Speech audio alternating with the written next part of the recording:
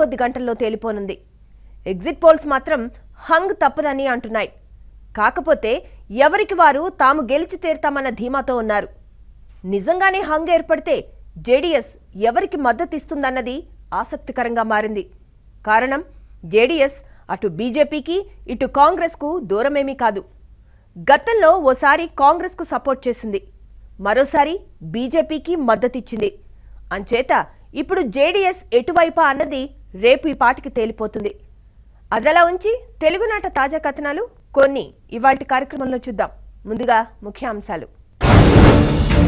Greater టీఆర్ఎస్లో జోష్ తగ్గడంపై చర్చోపచర్చలు. బల్దియాలో పాగా వేసిన కారు స్పీడ్కు పడ్డాయిట బ్రేకులు. ఆప్తుడి పరామర్శలో చంద్రబాబు ఆరోగ్య సూత్రాలు. సీఎం సూచనలు విని చాటుగా నవ్వుకున్న అధికారులు. ఇందూరు జిల్లా గులాబీ తమ్ముళ్ళలో తీవ్ర అసహనం. టికెట్ దొరకకపోతే రెబల్గా బరిలో దిగడానికి సంసిద్ధం. చిత్తూరు జిల్లా టీడీపీకి చుక్కలు చూపిస్తోన్న ఒకే ఒక్కడు. తెలుగు తమ్ముళ్ళతో రెండోసారి ఆడుకున్నట్ట చెడుగుడు.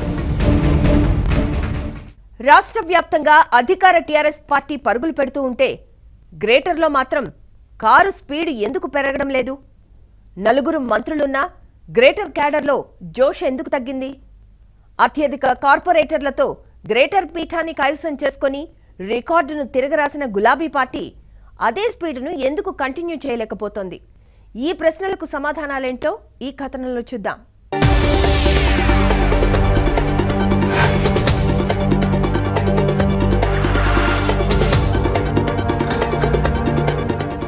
గతంలో గ్రేటర్ ఎన్నికల్లో పోటీ చేయడానికే తెలంగాణ రాష్ట్ర సమితి వెనకాడిన సందర్భాలున్నాయి. అలాంటిది రాష్ట్రం సిద్ధించిన తర్వాత జరిగిన జీహెచ్ఎంసీ ఎన్నికల్లో రికార్డులను తిరగరాస్తూ తొంభై తొమ్మిది స్థానాల్లో జయకేతనం ఎగురవేసింది. సాధారణ ఎన్నికల్లో గ్రేటర్ పరిధిలో కేవలం రెండు స్థానాలు మాత్రమే గెలుచుకున్న టీఆర్ఎస్ ఆ తర్వాత తన బలాన్ని బలగాన్ని అమాంతం పెంచుకుంది. గ్రేటర్ ఫలితాలతో దిమ్మ తిరిగిపోయిన ఇతర పార్టీల ఎమ్మెల్యేలు క్యూ కట్టి మరీ కారెక్కారు.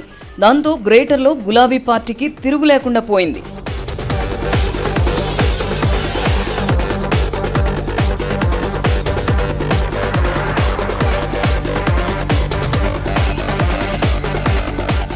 అటు నాయకుల చేరికలతో ఇటు ప్రభుత్వం అమలు చేస్తున్న సంక్షేమ పథకాలతో గ్రేటర్లో టీఆర్ఎస్ మంచి ఊపు మీద ఉన్నట్లే కనిపించింది. కానీ ఉన్నట్టుండి గత కొంతకాలంగా పార్టీలో స్తబ్దత కనిపిస్తోంది.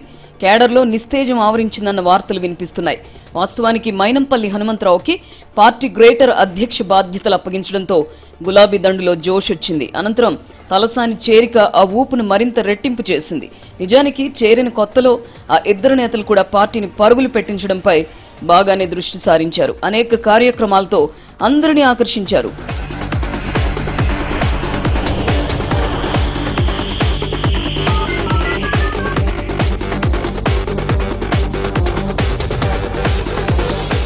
ప్రస్తుతం తలసాని శ్రీనివాస్ యాదవ్ పూర్తిగా మంత్రి బాధ్యతలపైనే దృష్టి పెట్టారు. పాలనాపరమైన వ్యవహారాల్లో బిజీ అయిపోయారు. ప్రభుత్వం ప్రతిష్టాత్మకంగా చేపట్టిన గొర్రెలు చేపల పంపిణీ కార్యక్రమాలను విస్తృతంగా ప్రజల్లోకి తీసుకెళ్తున్నారు. ఇక గ్రేటర్లో పార్టీని ఉరుకులు పెట్టించిన మైనంపల్లి కూడా గత కొంతకాలంగా సైలెంట్ అయిపోయారు. వ్యక్తిగత కారణాలు ఆరోగ్య సమస్యల రీత్యా ఆయన పార్టీపై దృష్టి సారించలేకపోతున్నారన్న చర్చ సాగుతోంది. దీనికి తోడు మరో ముగ్గురు మంత్రులు గ్రేటర్ నుంచి ప్రాతినిధ్యం వహిస్తున్న వారెవరూ పార్టీని పట్టించుకోవడం లేదన్న భావన కేడర్లో ఏర్పడింది.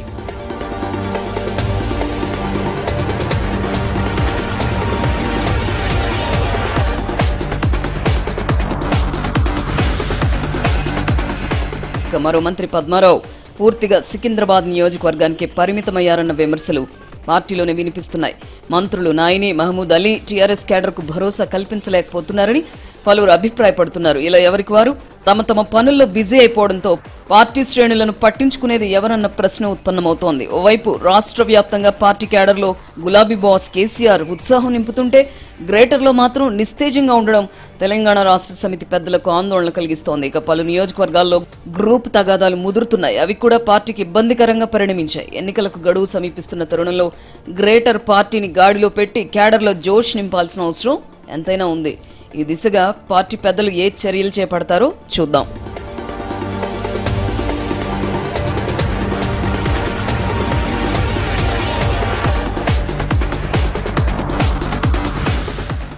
ఆయన చంద్రబాబుకు నమ్మకస్తుడు. కేవలం చంద్రబాబు లోకేష్ వంటి కొంతమంది నేతలకు మాత్రమే అందుబాటులో ఉంటారు. పార్టీ సర్వేలు నియోజకవర్గాల్లో పార్టీ పరిస్థితి ద్వితీయ శ్రేణి నాయకత్వం పనితీరు వంటి అంశాలపై నిరంతరం పర్యవేక్షిస్తూ ఉంటారు. సీఎంకు కావలసిన సమస్త సమాచారాన్ని రప్పిస్తూ ఉంటారు. ఇటీవల ఆయన అస్వస్థకు లోనయ్యారు. ఆయన్ను పరామర్శించేందుకు వెళ్ళిన చంద్రబాబు ఆసక్తికరమైన వ్యాఖ్యలు చేశారు. అసలు చంద్రబాబుకు అంత ఆప్తుడైన వ్యక్తి ఎవరు? అక్కడ చంద్రబాబు ఎటువంటి కామెంట్లు చేశారు? వివరాలు ఈ కథనంలో చూద్దాం.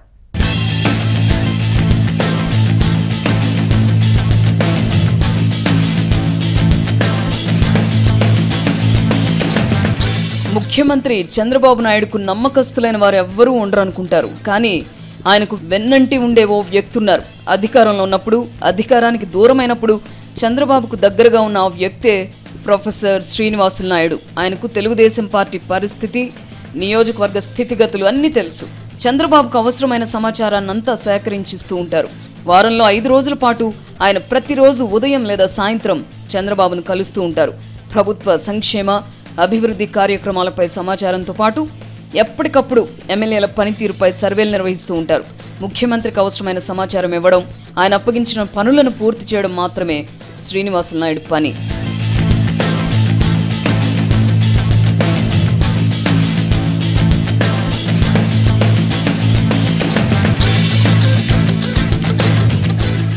ఆయన ఆధ్వర్యంలో ఒక బృందం రహస్యంగా ఈ పనులన్నింటినీ చక్కబెడుతుంది. ఇంత పని ఒత్తిడిలో ఉన్న శ్రీనివాస్ నాయుడు ఇటీవల అస్వస్థతకు గురయ్యారు. ఆయన నగరంలో ఓ ఆసుపత్రిలో చికిత్స పొందుతున్నారని తెలుసుకున్న వెంటనే చంద్రబాబు కొంతమంది సన్నిహితులతో కలిసి పరామర్శకు వెళ్ళారు.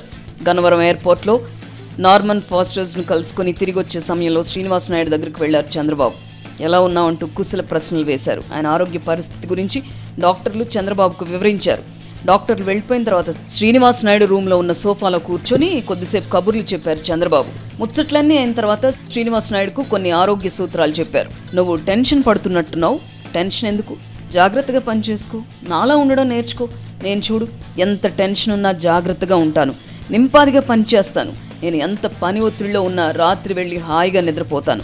పడుకున్న వెంటనే నిద్ర పడుతుంది అంటూ చంద్రబాబు చెప్పుకొచ్చారు. రూమ్లో ఉన్న అధికారులు నేతలు చంద్రబాబు చెప్పినవన్నీ విని బిత్రపోయారు. ఏం మాట్లాడాలో అర్థం కాక ఒకరి ముఖం ఒకరు చూసుకున్నారు. తమలో తాము నవ్వుకున్నారు. ఆ తర్వాత చంద్రబాబు అందరి వంక చూస్తూ ఎవ్వరూ టెన్షన్ పడాల్సిన అవసరం లేదని ప్రశాంతంగా ఉంటేనే పనులు సాఫీగా జరుగుతాయని హితబోధ చేశారు.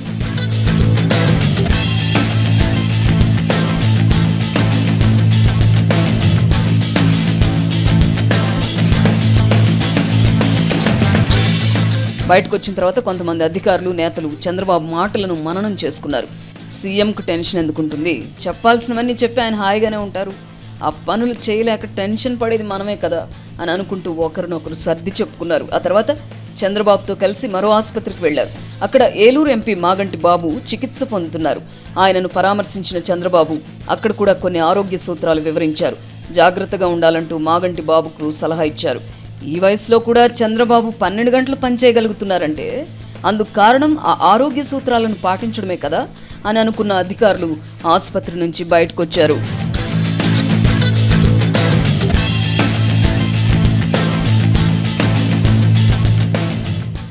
ఏబిఎన్ ఇన్సైడ్లో ఇప్పుడు విరామ అయితే ఫలాలనివ్వాలి లేకపోతే నీడైనా కల్పించాలి. నీడనివ్వక పళ్ళను ఇవ్వని చెట్టును పోషించడం ఎందుకు అనుకుంటున్నారు కొందరు గులాబీ తమ్ముళ్ళు. ఇంతకాలం కలలు పండే రోజు రాకపోతుందా అని ఎదురుచూసిన నేతలకు అవి కళ్ళలయ్యే రోజులొచ్చాయనే కలవరం మొదలైంది. రాబోయే ఎన్నికల్లో పార్టీ టికెట్ రాదని తేలిపోవడంతో తిరుగుబాటుకు సిద్ధమవుతున్నారు కొందరు ఆశావహులు. రెబల్గానైనా బరిలోకి దిగాలని ఉవ్విళ్ళూరుతున్నారు ఈసారి సిట్టింగ్లందరికీ టికెట్లు ఇస్తామని కేసీఆర్ చేసిన ప్రకటన ఉమ్మడి నిజామాబాద్ జిల్లాలో కలకలం రేపుతోంది. ఓవైపు ఎమ్మెల్యేలు పండుగ చేసుకుంటూ ఉంటే మరోవైపు వారి వ్యతిరేక వర్గాలు తిరుగుబాటుకు రెడీ అవుతున్నాయి. ఇంతకీ ఏ నియోజకవర్గంలో ఎవరు తిరుగుబాటు చేయబోతున్నారు? ఏ ఎమ్మెల్యేలకు వ్యతిరేక వర్గాల ముప్పు పొంచి ఉంది? ఆసక్తికర వివరాలు ఈ కథనంలో చూద్దాం.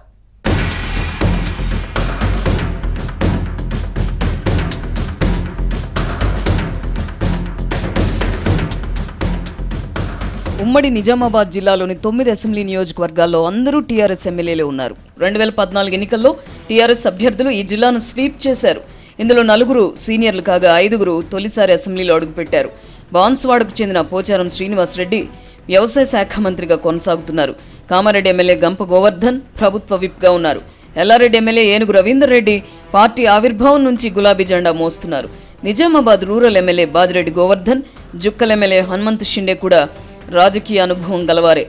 ఇక Nizamabad urban MLA Bigala Ganesh Gupta Bodhan MLA Shakeel Armoor MLA Jeevan Reddy Balkonda శాసనసభ్యుడు వేముల ప్రశాంత్ రెడ్డి తొలిసారి అసెంబ్లీ మెట్లెక్కారు.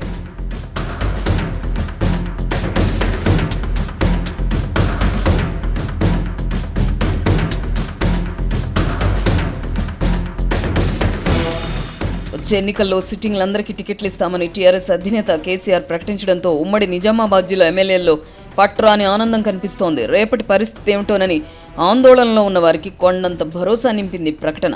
ఈపాటికే విమర్శలు వివాదాలతో జనానికి దూరమైన ఎమ్మెల్యేలు కొందరు టికెట్ విషయంలో డైలమాలో ఉన్నారు. అధినేత కేసీఆర్తో పలుమార్లు చివాట్లు తిన్నవారు టికెట్ గల్లంతవుతుందని ఆందోళన చెందారు. సదరు ఎమ్మెల్యేలపై పార్టీ అధిష్టానానికి సదభిప్రాయం లేదని తెలుసుకున్న ఆశావహులు కొందరు ఆయా నియోజకవర్గాల్లో పావులు కదపడం మొదలెట్టారు.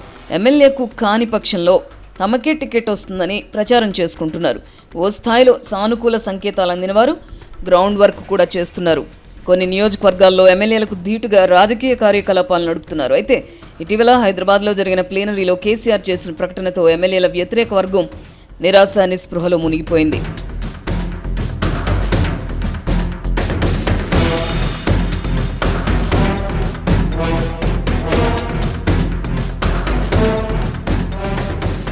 గత ఎన్నికల్లో టికెట్ ఆశించి భంగపడ్డవారు ఈసారి ఖచ్చితంగా బరిలోకి దిగాలని భావిస్తున్నారు. అప్పట్లో టీఆర్ఎస్ అభ్యర్థి గెలుపు కోసం పనిచేసిన వారు రాబోయే ఎన్నికల్లో తమ అదృష్టాన్ని పరీక్షించుకోవాలని ఉవ్విళ్ళూరుతున్నారు పోటీ చేసే విషయమై ఈ పార్టీకే నిర్ణయం తీసుకున్నవారు. పార్టీ టికెట్ రాకపోతే ఇండిపెండెంట్గా బరిలో దిగాలని అనుకుంటున్నారు. స్థానిక ఎమ్మెల్యేపై జనంలో వ్యతిరేకత పార్టీలోనూ సరైన ఆదరణ లేక ఈసారి టికెట్ ఇవ్వరనే ప్రచారం జరిగింది. దీంతో ప్రత్యామ్నాయంగా తనకే టికెట్ దక్కుతుందని ఆశించిన వారు ఉన్నారు ఈ కోవలో నిజామాబాద్ రూరల్ నియోజకవర్గం నుంచి ఎమ్మెల్సీ డాక్టర్ భూపతి రెడ్డి కీలకంగా పనిచేస్తున్నారు. తనకు టీఆర్ఎస్ టికెట్ వచ్చినా రాకపోయినా ఎన్నికల బరిలోకి దిగడం ఖాయమని మొదటి నుంచి చెబుతున్నారు. ఈ లక్ష్యంతోనే సిట్టింగ్ ఎమ్మెల్యే బాజిరెడ్డి గోవర్ధన్తో విభేదించి సొంత కుంపటి పెట్టుకున్నారు. ఎమ్మెల్సీ హోదాలో రూరల్ నియోజకవర్గాన్ని చుట్టేస్తున్నారు. ఆయన ఒంటెత్తు పోకడలు భరించలేని జిల్లా నాయకత్వం ఆయన్ని పార్టీ నుండి సస్పెండ్ చేయాలని సామూహికంగా నిర్ణయించింది. ఇటీవల హైదరాబాద్లో సమావేశమైన జిల్లాకు చెందిన మంత్రి ఎమ్మెల్యేలు ఎమ్మెల్సీలు భూపతి రెడ్డి వల్ల పార్టీకి నష్టం జరుగుతోందని ఆయన వెంటనే పార్టీ నుండి సస్పెండ్ చేయాలని తీర్మానించి పార్టీ అధినేత కేసీఆర్కు లెటర్ పంపింది. దీనిపై అధినేత నిర్ణయం ఇంకా పెండింగ్లో ఉంది. ఈ కారణంగానే తనకు టీఆర్ఎస్ టికెట్ రాకున్నా స్వతంత్రంగా పోటీలో ఉంటానని చెప్పుకుంటున్నారు డాక్టర్ గారు.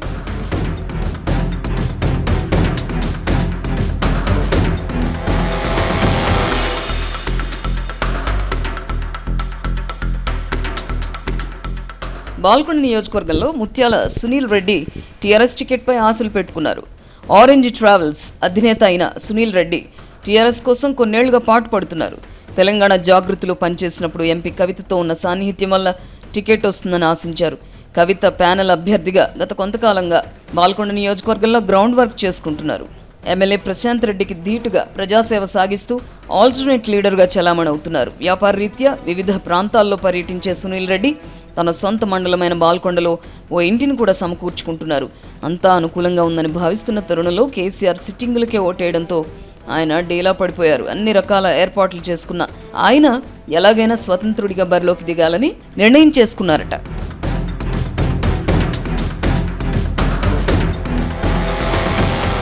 ఇక ఆర్మూర్లో వినయ్ రెడ్డి టీఆర్ఎస్ టికెట్ ప్రయత్నాల్లో ఉన్నారు. ఎమ్మెల్యే జీవన్ రెడ్డికి మిత్రుడైన వినయ్ రెడ్డి ఈసారి టికెట్ వస్తుందని ఆశించారు. గతంలో జీవన్ రెడ్డికి టికెట్ రావడంలో తన పాత్రే కీలకంగా ఉందని వినయ్ సన్నిహితుల వద్ద చెప్పుకుంటున్నారట. తన రికమెండేషన్ వల్లే జీవన్ రెడ్డి తెరపైకి వచ్చారని తీరా ఇప్పుడు తన ఉనికి చాటుకునేందుకు ఆయనతో పోటీ పడక తప్పడం లేదని అంటున్నారట.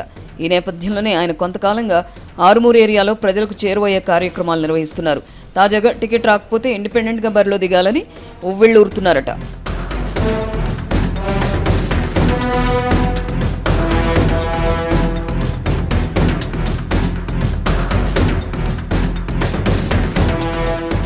బోధనలో మేడపాటి ప్రకాష్ రెడ్డి ఎల్లారెడ్డిలో మాజీ ఎమ్మెల్యే జనార్దన్ గౌడ్ కామారెడ్డిలో డీసీఎంఎస్ చైర్మన్ ఎంకే ముజిబుద్దీన్ రాబోయే ఎన్నికల్లో టికెట్లు ఆశిస్తున్నారు. ఇతర నియోజకవర్గాల్లో కూడా మనసులో మాట చెప్పుకునే అవకాశం కోసం ఎదురు చూస్తున్న వారు ఉన్నారు కేసీఆర్ ప్రకటనతో ఈ వర్గాలన్నీ తిరుగుబాటుకు సిద్ధమయ్యే పరిస్థితులు కనిపిస్తున్నాయి.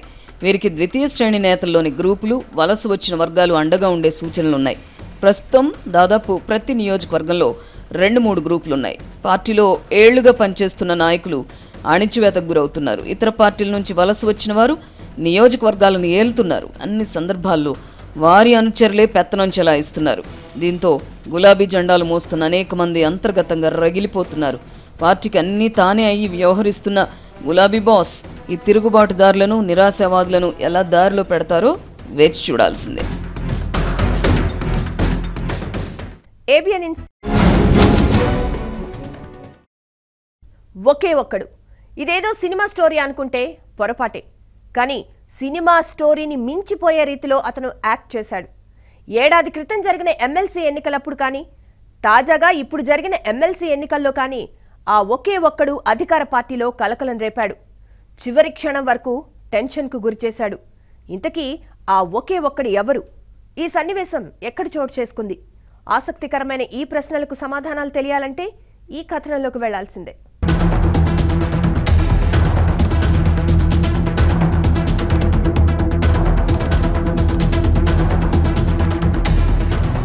చిత్తూరు జిల్లాలో రాజకీయాలు ఎప్పుడూ విచిత్రంగానే ఉంటాయి. జిల్లాలో రెండుసార్లు జరిగిన ఎమ్మెల్సీ ఎన్నికల్లో ఇలాంటి పరిణామాలే చోటు చేసుకున్నాయి. స్థానిక సంస్థల ఎమ్మెల్సీ కోటాలో గత ఏడాది మార్చి నెలలో ఒక ఎమ్మెల్సీ స్థానానికి ఎన్నిక జరిగింది. అలాగే గాలి ముద్దు కృష్ణనాయుడు అకాల మృతితో ఖాళీ ఏర్పడ్డ ఎమ్మెల్సీ స్థానానికి తాజాగా ఇప్పుడు ఎన్నికొచ్చింది. ఈ రెండు ఎన్నికల్లోనూ అధికార టీడీపీ అభ్యర్థులే ఏకగ్రీవంగా ఎన్నికయ్యారు. ఏకగ్రీవం అయ్యామన్న కొద్దిపాటి సంతోషమే కానీ అంతకు ముందు సంభవించిన పరిణామాలు వారిని తీవ్ర కలవరపాటుకు గురిచేశాయి తగినంత బలం లేకపోవడంతో ఆ పోటీకి వైఎస్ఆర్ కాంగ్రెస్ పార్టీ దూరమైనప్పటికీ ఆ ఒకే ఒక్కడు స్వతంత్ర అభ్యర్థిగా బరిలోకి దిగేందుకు నామినేషన్లు వేసి అధికార పార్టీలో కలకలం సృష్టించాడు.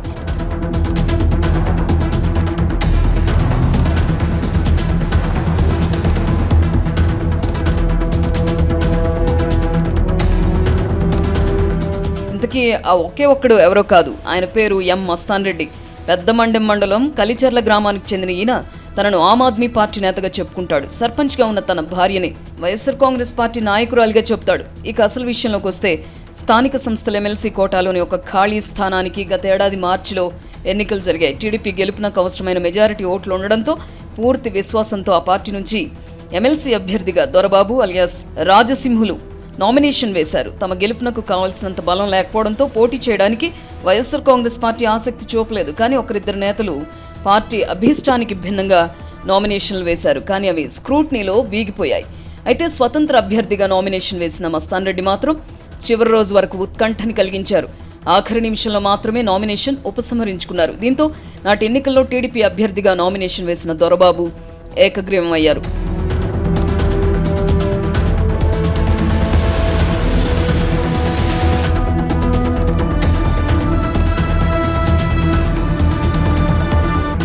తాజాగా ఇప్పుడు ముద్దు కృష్ణమనాయుడు అకాల మరణంతో ఖాళీ ఏర్పడ్డ ఎమ్మెల్సీ స్థానం కోసం ఉప ఎన్నిక జరిగింది. ఎవరైనా ప్రజాప్రతినిధి ఆకస్మికంగా మరణిస్తే ఆ స్థానాన్ని సదరు నేత కుటుంబ సభ్యుల్లో ఎవరో ఒకరికి ఏకగ్రీవం చేయడం అనేది ఎన్నాళ్ళుగానో సంప్రదాయంగా వస్తోంది. దీనికి కట్టుబడడంతో పాటు తమకు అవసరమైనంత బలం లేకపోవడంతో వైఎస్ఆర్ కాంగ్రెస్ పార్టీ బరిలోకి దిగలేదు. తెలుగుదేశం పార్టీ తమ అభ్యర్థిగా గాలి ముద్దు కృష్ణమనాయుడు సతీమణి గాలి సరస్వతమ్మను పోటీకి నిలిపింది. ఈసారి కూడా మస్తాన్ రెడ్డి స్వతంత్ర అభ్యర్థిగా బరిలోకి దిగి వార్తల్లో వ్యక్తిగా నిలిచారు. కనీసం అతను ఓటు హక్కు కలిగిన సభ్యుడు కూడా కాదు. పెద్దమండం ప్రాంతంలోని ఒకరిద్దరు వైఎస్ఆర్ కాంగ్రెస్ పార్టీ ఎంపీటీసీ సభ్యుల ప్రపోజల్స్తో నామినేషన్ దాఖలు చేసి తెలుగు తమ్ముళ్ళను కలవరపాటుకు గురి చేశారు. ఎప్పట్లాగే చివరి క్షణాల్లో తన నామినేషన్ ఉపసంహరించుకున్నారు. దీంతో పోటీలో ఎవరూ లేనందున సరస్వతమ్మ ఎన్నిక కూడా ఏకగ్రీవమైంది.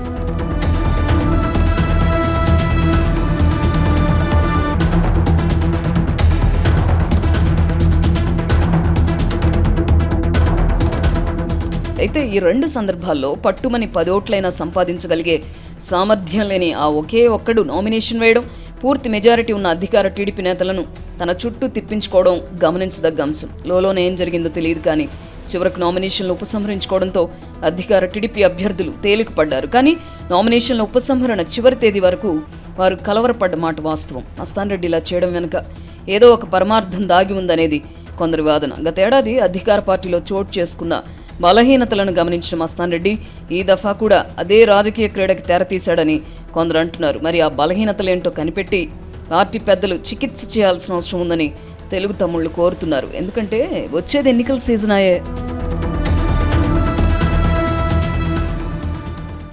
ఇదండి ఇవాల్టి ఏబిఎన్ ఇన్సైట్. రేపు మరిన్ని ఆసక్తికర కథనాలతో మీ ముందుంటాను. చూస్తూనే ఉండండి.